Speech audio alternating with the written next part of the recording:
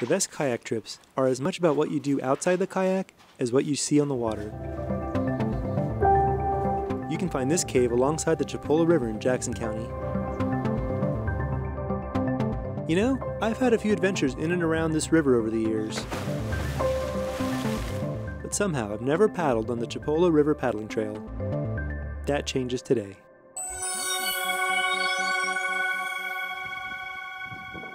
Chipola River covers about 92 miles.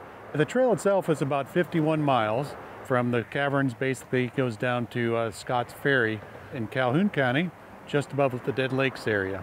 So that's the paddling trail. So you can do this trail over several days if you want, or just do different day stretches like most people do. Multi day kayak camping trips are fun, but we want to do a day trip. So today, we picked a section with a few highlights. So we paddled a 10 mile segment from Yancey Bridge to Magnolia Bridge. It's uh, Yancey Bridge is just below the uh, Florida Cavern State Park.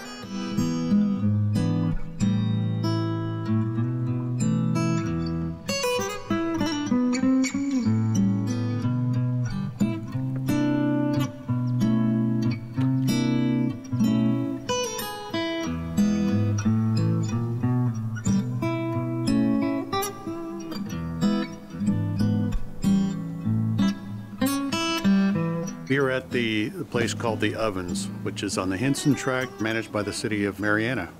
And this is a small cave that is probably the about the only cave you can access dry cave from a Florida river, so it's pretty unique. It's beautiful with big limestone boulders and uh, a lot of moss, just right on the river. So it's a little bit difficult to land here, but it's it's uh, it's a neat stop. It kind of looks like ovens, you know, the brick ovens. Floridians get excited anytime we see rocks above ground. Most of our best geology is under the water. This is Maund Spring, M-A-U-N-D, and it's it's about halfway between the Yancey Bridge, Magnolia Bridge, about five miles either way. It's a beautiful spring, has a kind of a long fissure, maybe uh, 15, 20 feet deep, probably deeper if you go into the cave. Yeah. I wanted to mention one thing about the springs. We stopped at one spring, but this river has 63 springs that feed it. So that's the largest number of springs that feed any Northwest Florida river. So it is unique that way.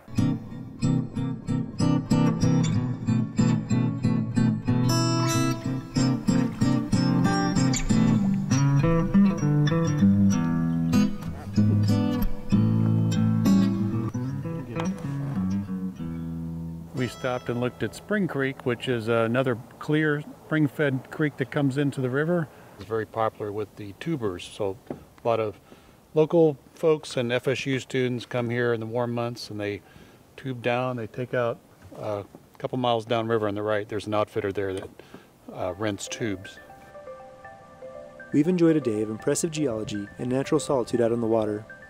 But just over a year after Hurricane Michael, it's hard not to notice the damage done to the surrounding forest. Paddling the river, it's pretty obvious. You'll see the floodplain forest has been decimated by about 60 to 70 percent in most places. So it's been thinned out quite a bit. But I've noticed that some of the trees that made it, especially some of the cypress and the live oak, seem to be doing really well. So they're going to end up being some very dominant trees.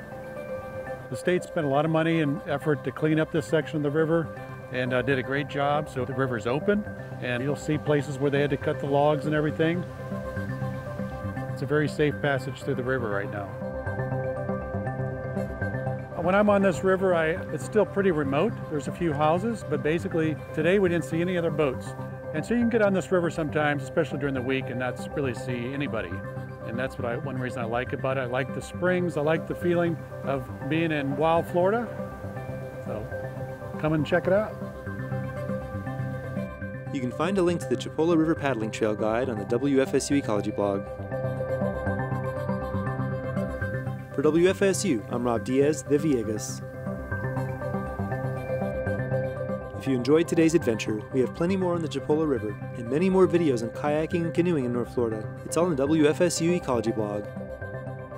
And please subscribe to the blog and the WFSU Ecology YouTube channel to keep up with our exploration of natural North Florida.